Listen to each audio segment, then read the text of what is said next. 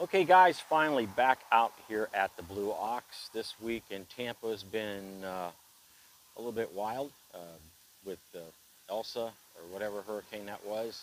Really a pussy storm, but it still made it to the point I couldn't get out here the truck every day like I like to. Um, this top is Wakas Bag. I uh, hope I'm pronouncing that correctly.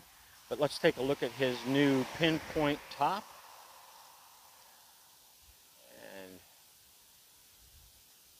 It's got all the insulation and foam and he opted for everything. And on the back here, he's got the zip up midsection, but he opted for no pockets. He does not run the seatbelt towers on the back of the truck.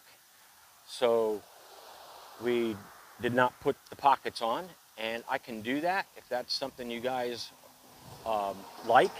It's a cleaner look. Maybe you're moving your seatbelts inside like I did. Uh, but anyway, this is a uh, nice looking black pinpoint, like I said. And let's take a look inside. As always, I've got the, the mesh screen, the, the Velcro, the uh, B-pillar straps up there, the C-pillar straps up here, which really pull that thing nice and tight. Uh, really nice top. And uh, it's going out as soon as I take this video. Thanks, guys.